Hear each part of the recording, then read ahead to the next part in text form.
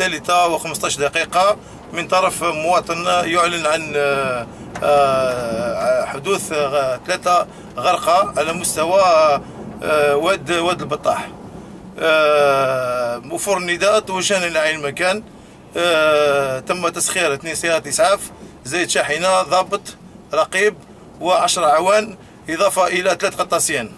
عند الوصول إلى عين المكان تم إنقاذ ثلاث أشخاص مباشرة ويبقى لنا الشخص الرابع مفقود.